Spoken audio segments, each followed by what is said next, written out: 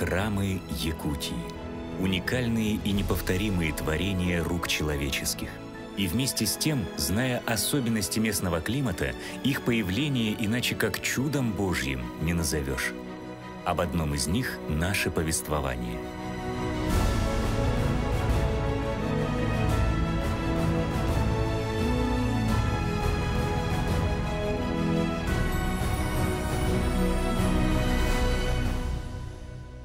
Градоякутская Преображенская церковь была построена и освящена в 1846 году. Главным строителем и попечителем этого храма был якутский купец Михаил Соловьев. Храмы Якутской области входили в то время в состав Иркутской епархии. Преображенской церкви были приписаны несколько якутских сел, и священникам приходилось достаточно часто выезжать для совершения богослужений в близлежащие наследия. Из знаменитых настоятелей Преображенской церкви следует назвать известного миссионера и просветителя протеиерея Дмитрия Хитрова, который в 1868 году после принятия монашества стал первым епископом якутским и вилюйским с новым именем Дионисий. Епископ Дионисий занимался переводами на якутский язык священного писания, богослужебных и духовно-нравственных книг – он, помимо этого, является одним из создателей грамматики якутского языка. Со времени епископа Дионисия воскресная литургия в Преображенской церкви совершалась на якутском языке. Это особо привлекло в храм коренных жителей. Прихожанами Преображенской церкви были и знатные горожане, и простые якуты. Все они любили свой приходской храм, с которым были связаны все главные события их жизни – от рождения до перехода в вечность.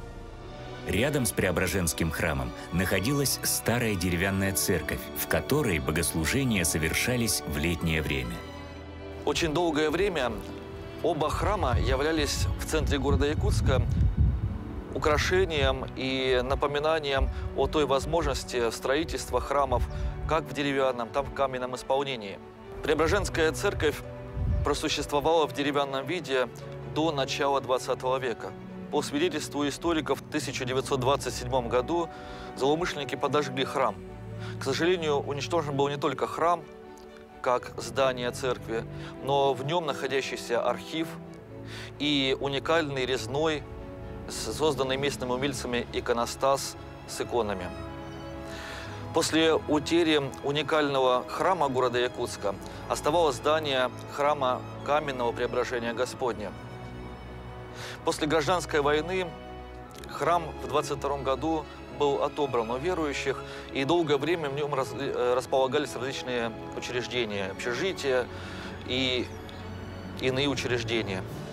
В 1940 году храм стал служить, а вернее сказать, его остатки. Он уже был лишен колокольни, уникальной шатровой для того времени в городе Якутске.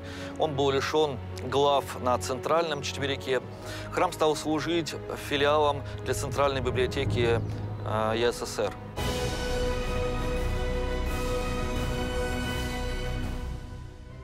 Возвращение к жизни разоренного храма стало возможным с восстановлением в 1993 году Якутской епархии.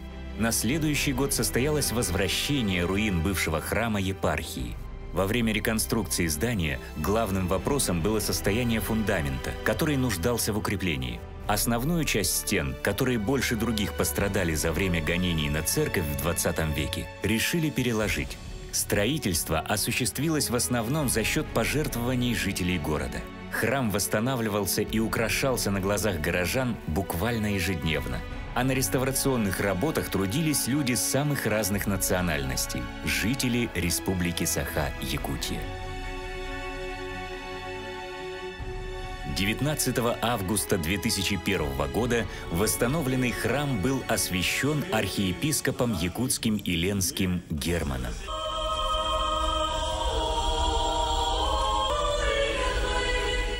Наш народ несмотря на природный и социальный катаклизм, всегда жил не только хлебом единым, а стремился и духовной пище и вере. свершилось чудо возрождения святыни. Вновь Градоякутская Преображенская церковь украшает исторический центр нашего города. Высоко сияют в голубом небе ее золотые купола и кресты. Далеко разносится торжественный звон ее колоколов, призывая человека к своему Творцу. В 2006 году на праздничном богослужении в день Рождества Христова в Преображенском храме молился президент Российской Федерации Владимир Путин.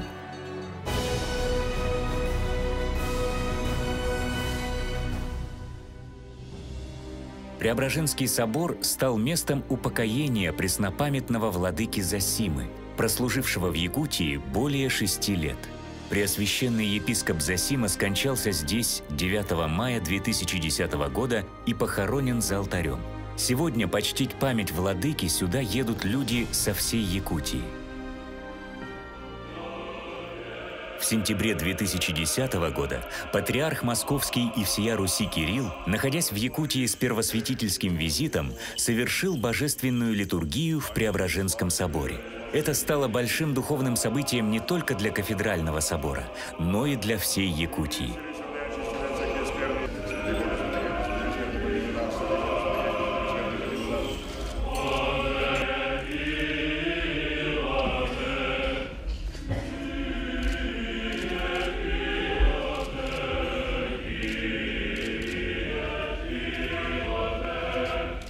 Великой радостью душевной совершил я божественную литургию в этом замечательном кафедральном соборе города Якутска.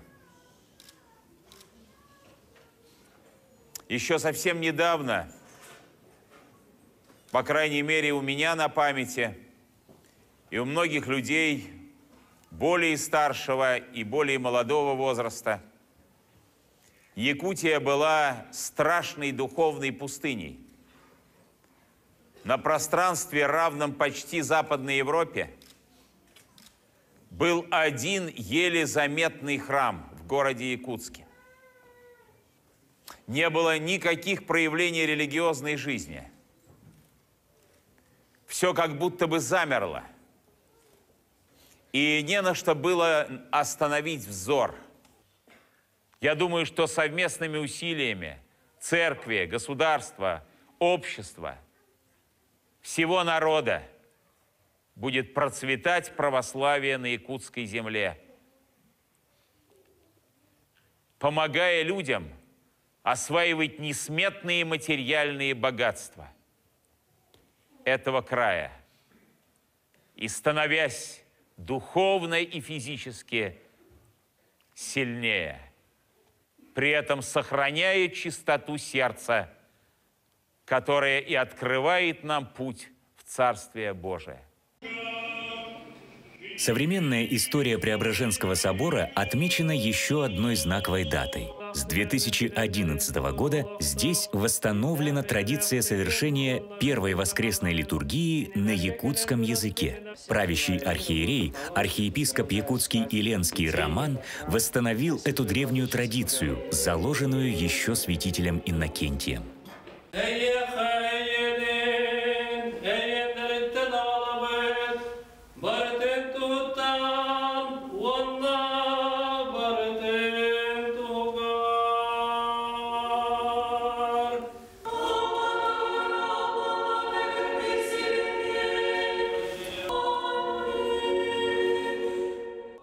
Преображенский собор сегодня главный храм Якутской епархии. Именно здесь находится кафедра правящего архиерея. Здесь совершаются посвящения в диаконы и священники –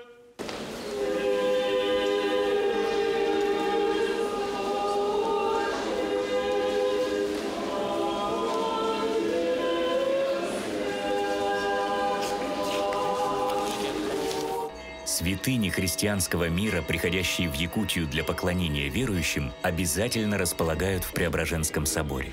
Высокие гости якутской епархии, архиереи, богословы, ученые, государственные и общественные деятели нашей страны посещают храм и молятся у его святынь.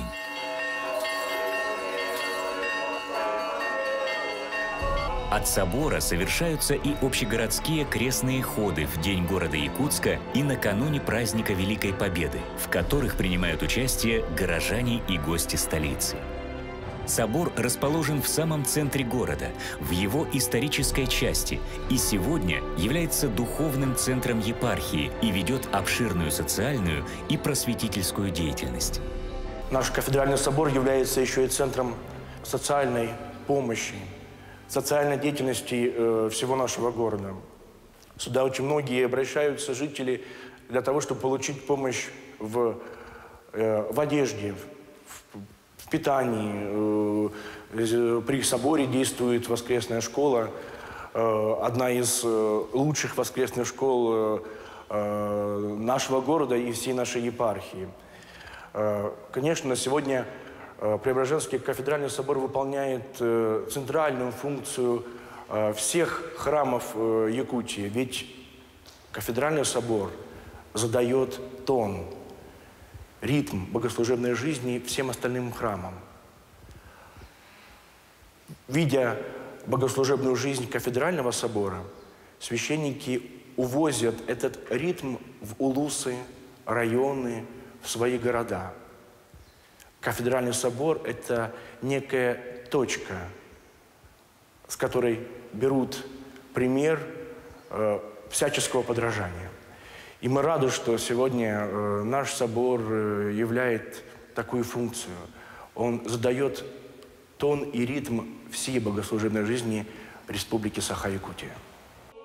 В настоящее время можно только восхищаться восстановленным видом Преображенской церкви. Она приобрела торжественный и выразительный вид. Открыты ее двери для людей, которые, приходя в храм Божий, будут получать освящение, благодать и благословение.